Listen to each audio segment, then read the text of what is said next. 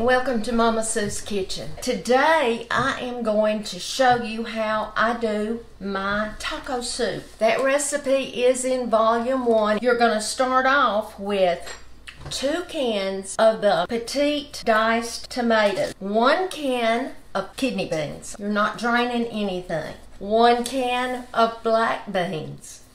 Now the pinto beans. Then you're going to put two cans of shoe peg corn. Then you're to put a can of Rotel, two cups of water, a package of taco seasoning mix. A packet is a fourth of a cup. One and a half tablespoons of Hidden Valley Ranch dressing mix. Just stir this around.